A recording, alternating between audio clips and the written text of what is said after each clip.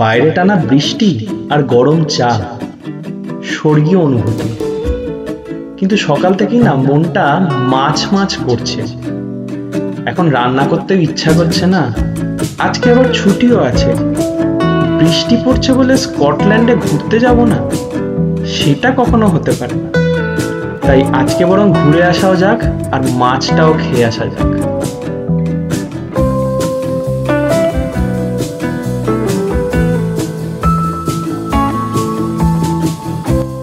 স্কটল্যান্ডের ফাইভ এলাকার এক ছোট্ট সুন্দর ফিশিং ভিলেজ অ্যান্ডস্ট্রুথ। এই ছোট্ট গ্রামটা আমরা ঘুরবই, কিন্তু যে পারপাসের জন্য আমি অ্যাকচুয়ালি আজকে এখানে এসেছি, সেটা হচ্ছে এখানকার অ্যানস্ট্রুথার ফিশ বারের ফিশ অ্যান্ড চিপস টেস্ট করে দেখা। এই ফিশ অ্যান্ড চিপসকে ইউনাইটেড কিংডমের অন্যতম বেস্ট ফিশ অ্যান্ড চিপস হিসেবে মানা হয়।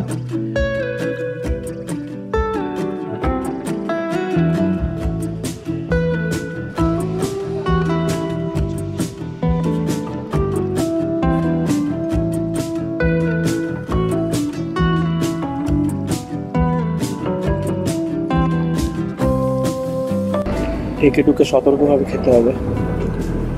আমাদের এই সিগাল পাখিগুলো খুব বাঁদর ভেঙে চলে যাবে।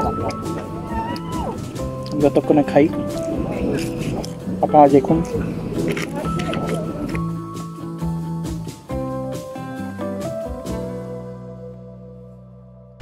পুরো ফিশ অ্যান্ড চিপসটা পেটে চালান করে দিতে পেরেছি অ্যাট লাস্ট খুবই ভালো ছিল।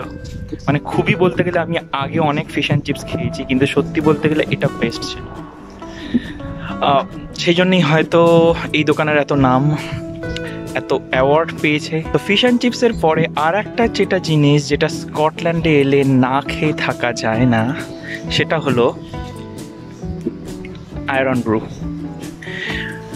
পৃথিবীর সব দেশে হয়তো কোকাকোলা এক নম্বর ব্র্যান্ড সফট ড্রিঙ্কসের বাট এইখানে কোকাকোলাকে সবচেয়ে কঠিন পরি, সবচেয়ে কঠিন চ্যালেঞ্জ জানায় আয়রন ব্রু আয়রন ব্রু স্কটল্যান্ডের একটা লোকাল সফট ড্রিঙ্কস কোথায় তৈরি হয় আমার ঠিক জায়গাটা মনে নেই।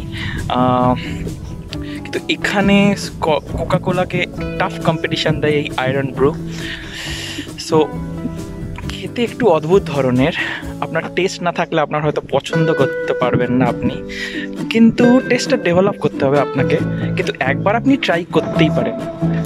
সো আমি সেই আয়রন বুড়ি এখন খাচ্ছি।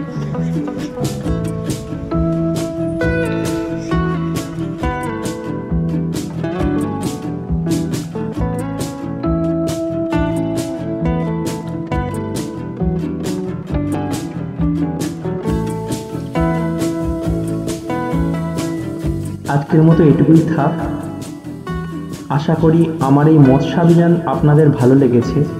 আর আপনারা খুব খুব খুব করে লোভ দিয়েছেন আমার খাবারে। আবার দেখা হবে কোনো এক যাত্রায়। ততক্ষণের জন্য বিদায়।